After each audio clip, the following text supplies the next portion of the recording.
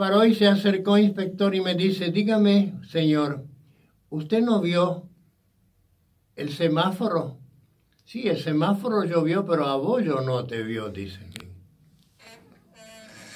Qué grande. Como decían antes, ¿viste? Sí. No, este, como te comentaba antes, tiene historia mi, mi, mi programa, 60 años, ¿viste? Yo arranqué en el ¿Cuándo LT. comenzaste, Carlitos? Y tiene que haber sido hacer historia cuando, cuando arrancó el ET16.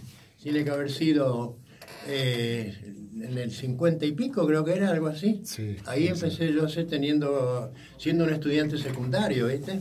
Ahí empecé a contar, porque yo las cosas se dieron así. Mis padres tenían un bar en pleno centro y ahí iban los gringos. Y a la vez iban los